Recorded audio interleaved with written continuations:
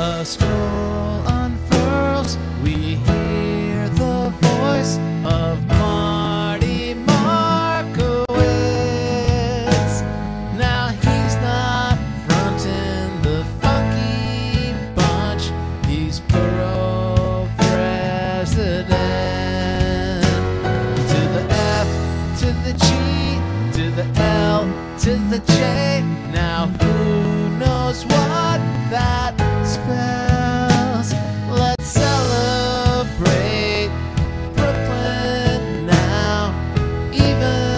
Gowanus Canal.